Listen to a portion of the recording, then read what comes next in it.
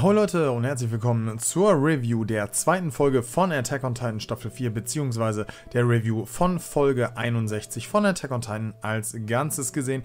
Ja Leute, die heutige Folge war im Gegenteil zu der ersten Folge, die wir in dieser Staffel hatten, etwas ruhiger. Nein, eigentlich soll ich sogar sagen, sie war deutlich ruhiger, hat dennoch sehr, sehr viele Punkte geliefert, die äußerst interessant sind und die man erstmal so richtig verstehen und sacken lassen muss, um hier das weitere Geschehen in Attack on Titan zu verfolgen. Ich persönlich fand die Folge sehr nice. Wir werden hier über die verschiedenen Punkte reden und werden auch noch über die ein oder andere Szene genauer im Detail reden. Bevor das Video losgeht, würde ich mich natürlich mega freuen, wenn ihr meinen Kanal hier abonnieren würdet, damit ihr nichts mehr zu Attack on Titan verpasst. Und auch gerne ein Däumchen nach oben da lasst, denn das ist kostenlos für euch und supportet mich absolut. In diesem Sinne, Leute, starten wir jetzt mit dieser Review. Beginnen tun wir aber natürlich erstmal mit dem Beginn dieser Folge. Wer hätte es gedacht? Die Schlacht ist gewonnen, wie wir in der letzten Folge schon gesehen haben. Und die Marley-Offiziere reden hier über die Zukunft der Kriegsführung und auch über die Titan. Ganz interessant ist hierbei übrigens, dass Siegjäger mit dabei sein darf am Tisch, wo wohlgemerkt. Und das, obwohl er ja ein Eldia ist und die Eldia sind ja eigentlich Untermenschen in den Augen der Male, umso beachtlicher, dass Sieg hier mit am Tisch sitzen darf. Auch sein Nachfolger Colt ist mit am Start. Das erfahren wir nämlich auch in dieser Folge hier. In dieser Folge wird sehr viel über die Nachfolger der Titanenwandler der Male-Nation geredet. So kriegen wir hier zum Beispiel auch nochmal bestätigt, dass hier Colt den Beast-Titan von Sieg erben soll, denn Sieg hat nur noch ein Jahr zu leben. Um euch das auch nochmal zu erklären, es gibt ja den sogenannten Fluch von Ymir. Dieser Fluch Fluch sorgt dafür, dass Titanenwandler 13 Jahre nach dem Erhalt ihrer Titanenkraft sterben. Und bei Sieg ist es jetzt schon 12 Jahre her, dass er seine Titanenkraft bekommen hat. Dementsprechend hat er nur noch ein Jahr hier zu leben und deshalb steht sein Nachfolger mit Colt Grice auch schon fest. Der soll ihn hier beerben. Wie gesagt, reden die Mali-Offiziere über die Zukunft der Titanen, reden sogar auch über einen fliegenden Titan. Ihnen ist aber sehr, sehr gut bewusst geworden, dass die Titanen nicht mehr die Zukunft sind. Dass auf jeden Fall in Zukunft auf Maschinen Maschinen, auf Gewehre, auf Kanonen die Zukunft liegt und vor allem auch auf Luftschiffe und Flugzeuge und dergleichen. So kann man das Ganze zumindest hier mit rausnehmen.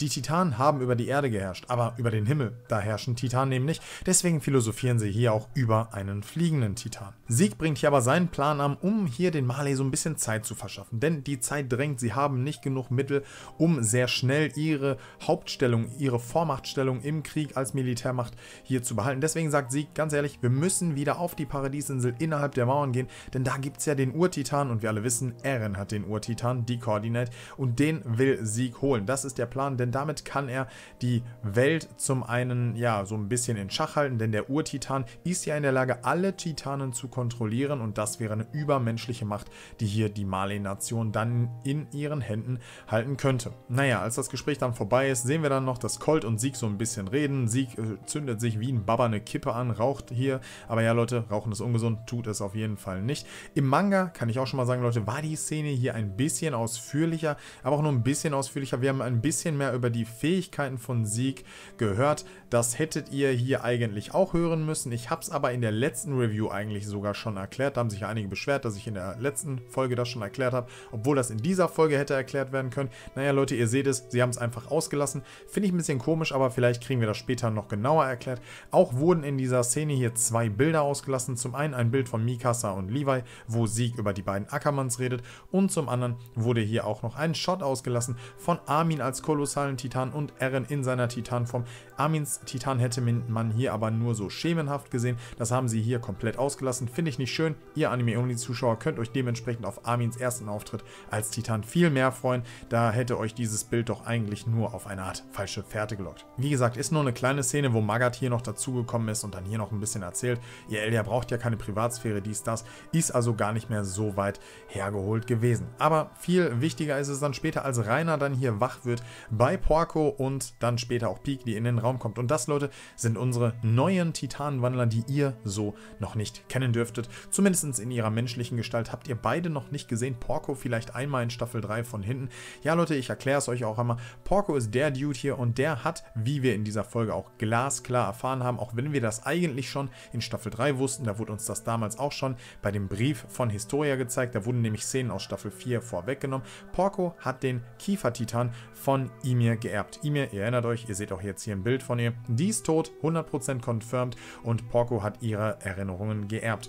Und äh, ja, dementsprechend konnte Porco auch sehen, was Rainer so alles innerhalb der Mauern gemacht hat und dass er ein großes Vorbild gewesen ist, dass er so ein Vorbild gewesen ist, wie es eigentlich Porcos Bruder gewesen ist. Porcos Bruder werdet ihr aber in der nächsten Folge noch genauer kennenlernen. Ja, auch Peak sehen wir dann hier. Peak ist äh, eine Waifu in Attack on Titan, ist wirklich eines der Best Girls in Attack on Titan. Sie ist die Titanwandlerin des Karren-Titans und ja, sie hat Probleme zu laufen, wenn sie aus ihrer Titanengestalt rauskommt. Das hat den Ursprung, dass sie immer sehr lange in ihrer Titanengestalt ist. Sie kann nämlich mehrere Monate in ihrer Titanenform bleiben. Falls du dich interessierst für die Titanen, über die ich jetzt hier auch gerade rede, klick mal oben rechts auf die Infokarte. Ich habe schon alle Titanenwandlerkräfte erklärt, so auch die Titanenkräfte von den beiden sind spoilerfrei eigentlich. Wenn du hier auf Anime-Stand bist, dann sollte dich spätestens jetzt nichts mehr spoilern, weil du hier die Titanenwandlerkräfte gezeigt bekommen hast, beziehungsweise gesagt bekommen hast, wer die Titanenwandler hier sind. Schau da gerne mal rein. Wie gesagt, unsere neuen Titanenwandler haben hier dann ihren ersten Auftritt. Ist auch ganz interessant, das nochmal zu sehen, dass Porco eine Abneigung gegen Rainer hat.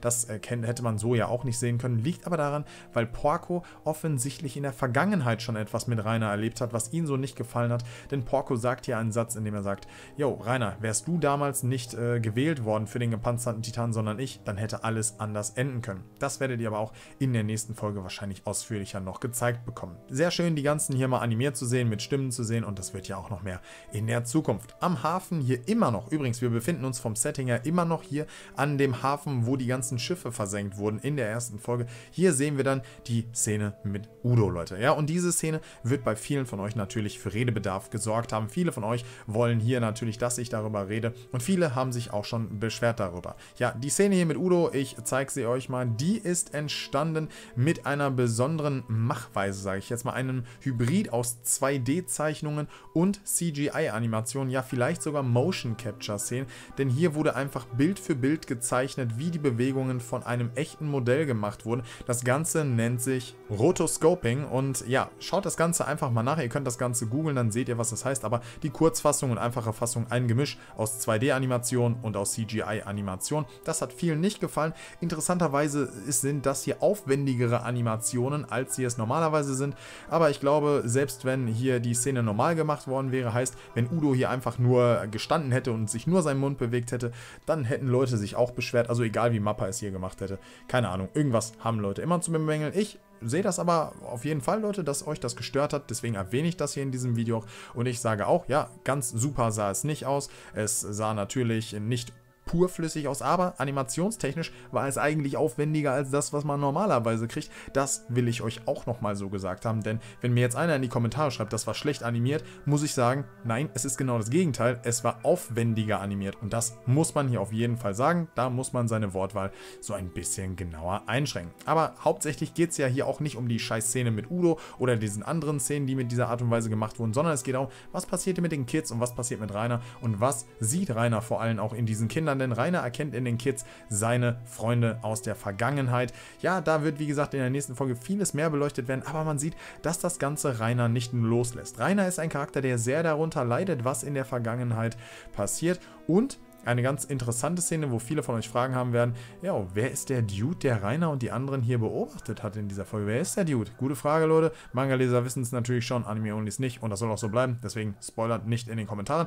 Aber den Dude hier, der hier beobachtet, den könnt ihr wahrscheinlich noch in Zukunft ein paar Mal mehr sehen im Verlauf der nächsten Folgen. Die nächste Szenerie, die wir haben, ist dann im Zug und da sehen wir, dass sich Colt mega besoffen hat und Gabi einfach auf übelste feiert, denn Gabi ist ja die Heldin. Sie hat dafür gesorgt, dass ganz, ganz viele Eldia-Soldaten nicht den sinnlosen sinnlosen Tod sterben mussten und deswegen wird da übelst heftig gefeiert und gesoffen zum Teil. Hat mir persönlich sehr gefallen, auch die Euphorie, da sieht man es nochmal, dass selbst hier die Eldier ausgelassen sind, wenn sie das Ganze überleben und das ist auch absolut vollkommen verständlich. Falco und Rainer sind auch dabei, die beiden sind aber nicht so in Feierlaune, vor allem weil Falco es sehr kritisch sieht, dass Gabi den gepanzerten Titan erben soll. Ja, sie soll die Erbin werden von Rainer und es deutet alles darauf hin, es ist noch nicht zu 100% entschieden, aber sie hat sehr viel dafür getan, dass sie gewählt wird. Rainer hat nämlich zum Zeitpunkt, wo hier jetzt gerade die Folge war, nur noch zwei Jahre zu leben und dementsprechend ist er auch nicht mehr so lange am Leben durch den Fluch von Ymir. Ja, das habe ich euch ja vorhin auch schon genauer erklärt.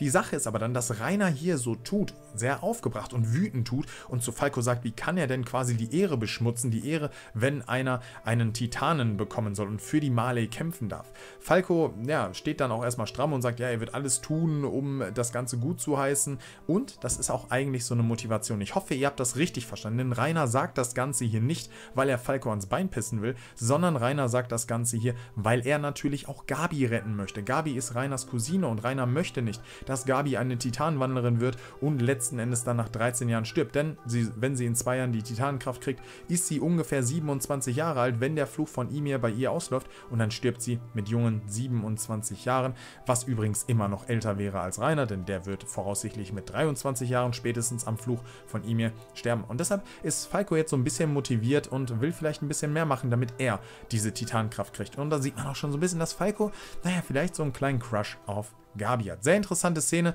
sehr intensive Szene, muss ich persönlich sagen. Hat mir super gut gefallen. Eine mit der besten Szenen in dieser Folge gewesen. Zu der besten Szene kommen wir aber gleich noch. Die Krieger kommen dann am Bahnhof in Rebellio an und ja, ich werde es jetzt in Zukunft Rebellio nennen, weil eigentlich heißt es für uns Manga-Leser immer Liberio, aber offiziell ist bestätigt, beide Übersetzungen sind richtig. Liberio oder Rebellio. Das Japanisch ist halt so geschrieben, dass man beide äh, Sachen so deuten kann, beide Namen. Deswegen nenne ich sie Rebellio, damit auch alle wissen, was abgeht. Sowohl Anime-Zuschauer als auch Manga-Zuschauer. Zuschauer. Und an dem Bahnhof sieht man auch nochmal, dass Falco sich fragt, hm, ist Rainer jetzt auf seiner Seite? Ist er auch hier, um Kriege zu vermeiden? Will er eigentlich auch einen friedlichen Weg? Und Leute, Falco ist ein Good Boy, Leute. Freut euch auf Falco. Falco ist so ein guter Charakter.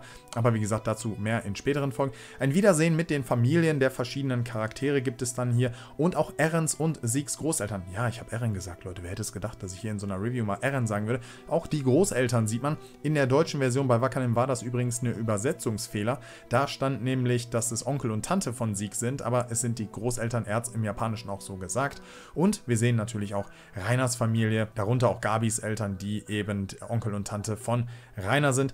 Ein kleines Ding haben wir dann noch in dieser Szenerie hier, neben diesem ganzen Wiedersehen, was auch nochmal zeigen soll, wie entlastend das ist, wie schön das für Familien ist, wenn die Verwandten oder die Leute aus dem Krieg zurückkehren. Wir, nehmen, wir sehen nämlich noch äh, Leutnant Koslov, hier die Schweinebacke, Leute.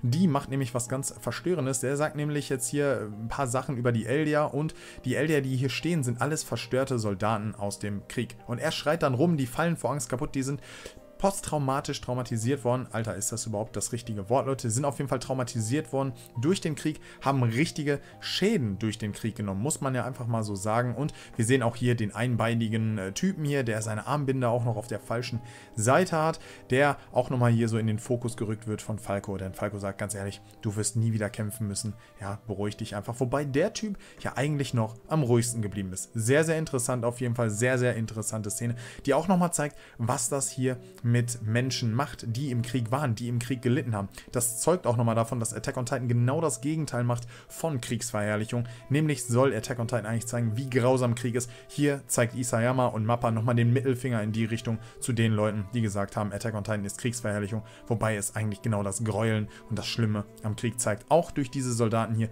die durch den Krieg schwer verstört sind. So, dann wird es ein bisschen gemütlicher, Leute. Wir gehen nämlich nach Rainer nach Hause. Da sehen wir dann, wie die ganze Familie, auch Gabi mit ihren, mit ihren Eltern mit am Tisch stehen und so. Und Gabi erzählt voller Euphorie ihre Heldentaten, was sie geleistet hat für das große Volk der Mali und auch für die guten Eldier. Wir sehen auch in dieser Folge hier wieder, es gibt scheinbar für Gabi die guten Eldier und die bösen Eldier. Und die guten Eldier sind die, die quasi in den Ghettos sind und die bösen Eldier, das sind die auf der Paradiesinsel. Das heißt, Leute wie Eren, Sascha, Conny und Co., das sind in deren Augen die bösen bösen Elia. Wieso das so ist, sollte eigentlich ab diesem Zeitpunkt schon bei jedem von euch Klick gemacht haben. Natürlich ist das Propaganda. Die haben das von klein auf so beigebracht bekommen. Aber auch dazu seht ihr in der nächsten Folge mehr. Ich will euch schon mal ein bisschen heiß darauf machen. Rainer erzählt nämlich danach auch noch ein bisschen hier über seine Zeit auf der Insel, über seine Zeit mit Eren und Co. Und hierbei sagt er natürlich immer, dass die Leute auf der Insel innerhalb der Mauern, dass sie grausam sind, dass sie unmenschlich sind. Aber dann erzählt er hier von Sascha zum Beispiel, die eine Kartoffel geklaut hat und beim Antreten Vorräten einfach die Kartoffel gegessen hat und dann dem Ausbilder auch nur einen kleinen Teil der Kartoffel gegeben hat. Und das wäre ja absolut unmenschlich und das sollte zeigen, wie gierig und egoistisch die Menschen auf der Insel sind. Auch sagt er hier, ich zitiere Leute, der eine stürmte immer gleich drauf los und eine andere folgte ihm, egal was geschah. Was auch nochmal eine Anspielung an Eren und Mikasa ist. Das Ganze ist super interessant gewesen, denn die Kamera fährt hier immer weiter auf Rainer zu und wir sehen, dass Rainer hier, naja, so ein bisschen über sie redet, über seine ehemaligen Kameraden, aber er tut das nicht wirklich auf eine herablassende Art und Weise, sondern er lässt sie menschlich wirken. Gerade dadurch, dass er das mit Sascha und Co. gesagt hat, lässt er diese Menschen, die Dämonen von der Paradiesinsel, lässt Rainer hier menschlich wirken. Und das ist etwas, worauf natürlich jetzt hier Rainers Mutter und auch Gabi nicht klarkommen, die sich fragen, hä, was geht hier ab? Rainers Mutter komplett entsetzt und kommt gar nicht drauf klar und denkt sich, was sagt der Junge da? Ganz schnell die Fenster zumachen, damit das Ja niemand mitkriegt und sagt danach nochmal, ja, ja, alles, alles Dämonen auf der Paradiesinsel.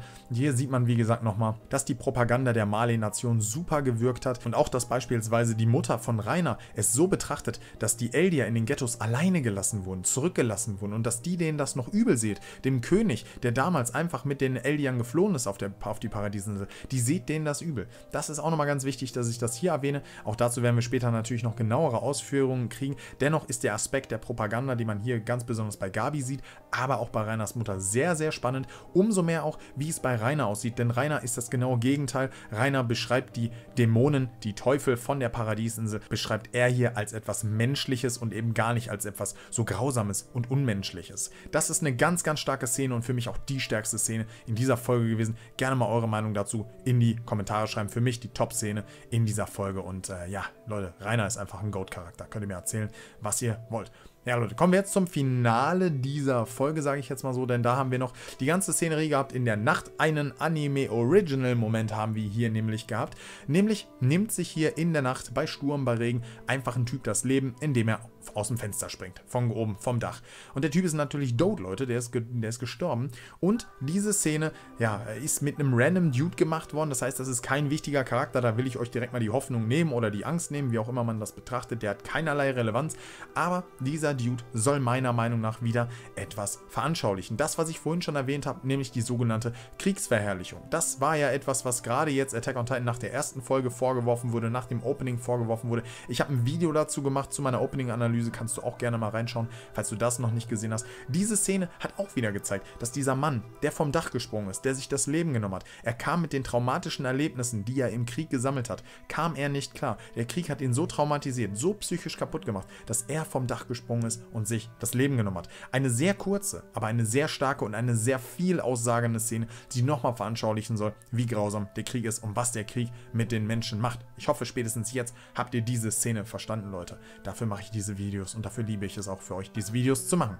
Dann gibt es aber noch das große Kriegertreffen, so nenne ich es jetzt mal. Und das wurde vorgezogen, Leute, denn das ist eigentlich aus, naja, einem Chapter, was in dieser Folge nicht adaptiert werden sollte. Ist aber auch gar nicht schlimm, ist ja auch nur ein, eine kleine Rubrik aus Chapter 95 müsste es sein. Denn eigentlich hat diese Folge Kapitel 93 und Kapitel 94 adaptiert. Aber diese Szene ist noch aus Kapitel 95, nämlich das Kriegertreffen, was übrigens abgehört wird von den Marley-Offizieren.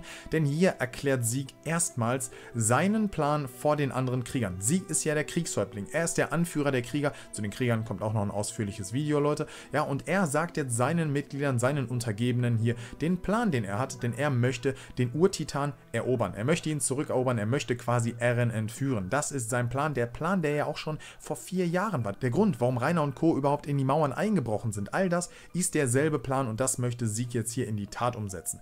Aber um das zu machen, möchte er auf die Hilfe der ganzen Welt pochen. Und dazu soll auch eine bestimmte Familie mit eingezogen werden. Das ist die sogenannte Taiba-Familie. Wir haben schon ein Bild in dieser Folge von denen gesehen. Diese Familie ist eine der großen Titanenfamilien. Die haben wir leider in Gesamt Attack on Titan viel zu wenig beleuchtet bekommen. Also ich kann euch auch schon mal sagen, Leute, die werdet ihr auch in Zukunft nicht viel größer beleuchtet bekommen. Also diese ganzen Titanen-Clans. Aber die Taiba-Familie ist einer dieser Titanen-Clans und dieser Titanen-Clan hat den sogenannten Warhammer-Titan. Mit diesem Titan hat diese Familie aber nie mitgekämpft. Sie hat nie teilgenommen an Marleys Operationen das ist etwas, was beispielsweise Porco übel aufstößt, weil der sagt, hey, warum helfen die uns denn nie? Die haben auch eine Titankraft, aber wir müssen immer in die Bresche springen, wir müssen immer alles leisten, nur die machen nichts und chillen ihr Leben. Auch dazu werdet ihr noch mehr erfahren. Sehr interessant auf jeden Fall auch die Meinung von Porco, dass der das Ganze nicht so gut annimmt, aber Sieg hat ja schon so Andeutungen gemacht, dass hier vielleicht abgehört werden könnte. Auf jeden Fall wird das noch deutlich interessanter und die Taiba-Familie hat ein großes Ansehen in der Welt und den Grund,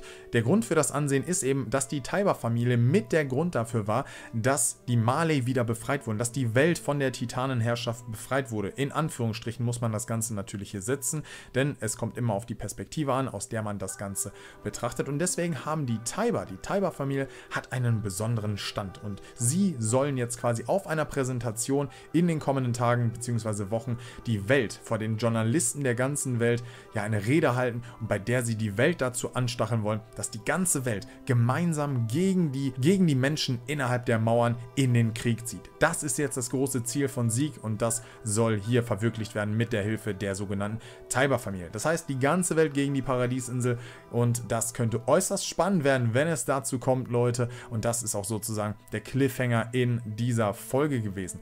Meiner Meinung nach eine sehr, sehr starke Folge, die vor allem nochmal einige Sachen herauskristallisiert hat mit dem Grauen des Krieges, auch mit der Perspektive von Rainer, wie er das Ganze betrachtet, was früher passiert ist, bei seiner Zeit bei Eren und Co.